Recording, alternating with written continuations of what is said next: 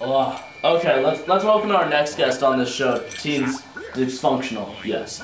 Um, I think his name is like Mike Jones. Mike Jones! Yo, what you want, man? Oh, this is out of Get out of here. Oh, yeah. Yeah, huh? Huh? What you? What you gonna do? Yeah, yeah, huh? Hey, whoa, whoa, whoa, I ain't done yet. Why you up in my grill like that, dog? Why you up in my grill like that? Mike Jones! Say, say that. Hey,